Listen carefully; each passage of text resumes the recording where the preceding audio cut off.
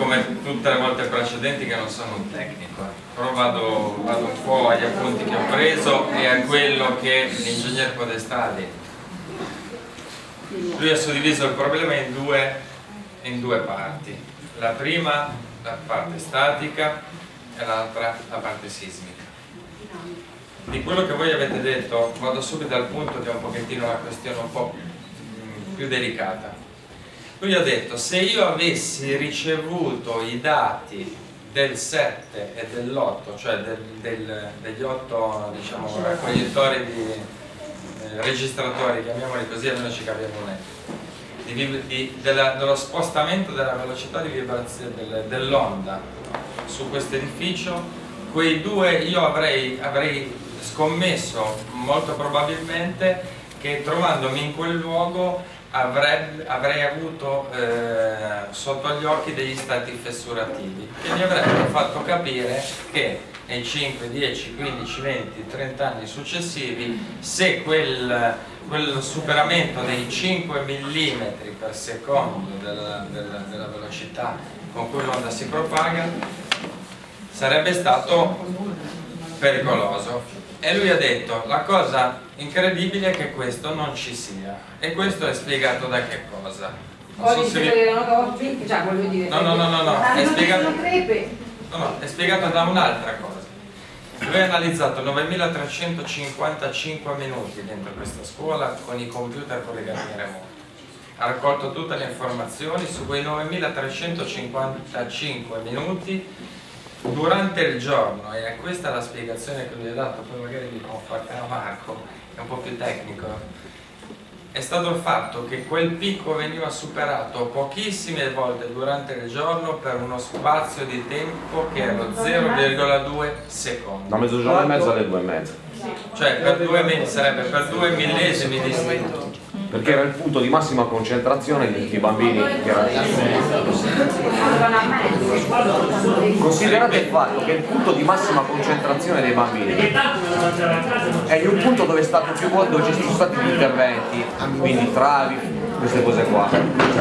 Quindi in un, in un, minuto il picco usciva fuori da quei 5 millesimi di secondo che non è e lui ha detto anche questo che non è scritto nella norma è una sua constatazione, ha preso quel rilievo lì, neanche dal punto di vista della, della diciamo così come possiamo chiamarla, della normativa italiana, ma siccome lui ha lavorato anche fuori, si è confrontato anche con altre realtà fuori e lui ha fatto una, diciamo così, una linea dei 5 millesimi per secondo, tanto che ha detto un'altra cosa che forse è quella ancora più importante, che la soglia del, dei picchi, chiamiamoli così, se fossero stati tutti regolari sotto la soglia dei 5 millesimi per secondo ma fossero stati invece che essere praticamente nulli perché nel grafico si vede una nullità costante nel tempo poi ogni tanto dei picchi che superano i 5 millesimi di secondo. Se invece di essere a soglia 0 fosse stato a soglia 4 e mezzo continuativa per tutti i minuti di tutte le ore che i bambini erano a scuola. Sarebbe stato detto di gran lunga più preoccupato. Per farvi capire lui ha voluto dire un'altra cosa che c'è un picco di c'è un momento in cui si sopra questa soglia. Questo momento è piccolo rispetto al tempo in cui c'è il momento di, di, criticità da mezzogiorno alle 2, alle 2 e mezza, adesso non ricordo cosa, da mezzogiorno alle 2 mi sembra. Ma lui sarebbe stato più preoccupato, benché avrebbe potuto dire, se così fosse stato, la soglia non la supera mai, ma da ingegnere ha detto sarei stato molto più preoccupato se quella soglia invece di essere lo zero, scusatemi ma per far capire, con dei picchi di questo tipo fosse stata a 2,5 3 continuativa nel tempo senza fuoriuscire da quella, da, da, da quella sola. Questo cosa significa? Significa che, lui ha detto dal punto di vista statico, scusa chi è che ha detto delle solette inesistenti? Lui ha detto dal punto di vista statico questa parte qui vibra di più, ha, detto, a diversità dalla parte dove c'è la palestra perché essendo la palestra con una luce più grande e non essendoci pilastri eh, la soletta Era stata fatta all'epoca con un pensiero di, di, di più rinforzo. Quindi lui ha detto che questa parte è così, Ha detto così. non perché non c'è la soletta, Ha detto, c'è meno una pilastri. soletta praticamente inesistente il traffico. Pensa così invece che Eh, ma questo qua serve No. deve essere un modo di rinforzo. Lui deve chiudere questa relazione.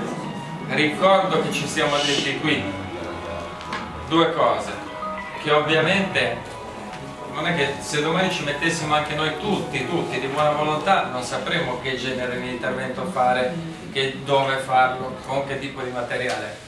È un ingegnere e e anche un curriculum lungo di qua laggiù in fondo, quindi stabilirà lui quali sono gli interventi da fare, tanto che qui ho detto, tutti me l'avete chiesto, avete detto sarebbe bene per la fiducia che abbiamo in lui.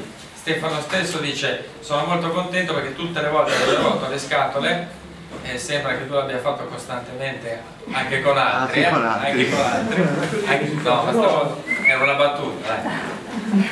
Anche con altri ha risposto, è sempre stato normalmente insomma per il rilievo che ha anche quell'uomo lì molto probabilmente una volta, due volte, tre volte, quattro volte, magari la quinta volta può dire anche ciò dell'altro.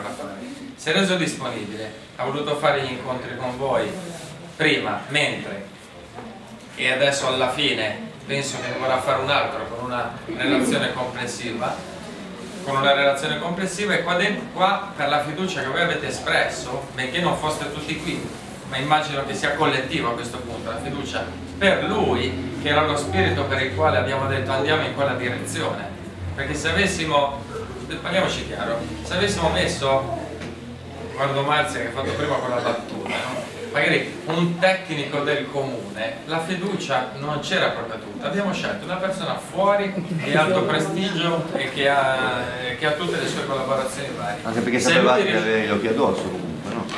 No, ma perché comunque io mi fido per io per primo, mi fido più di una persona che è professionalmente a quel rilievo.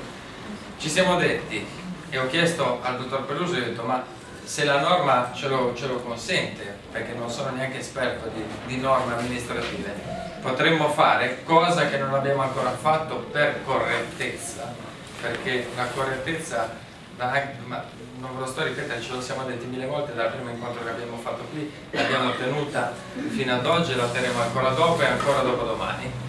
Abbiamo detto non gli diamo l'incarico subito, prima gli facciamo esprimere tutto il lavoro che deve esprimere e successivamente consegniamo un incarico di redazione del progetto di intervento, chiamiamolo così.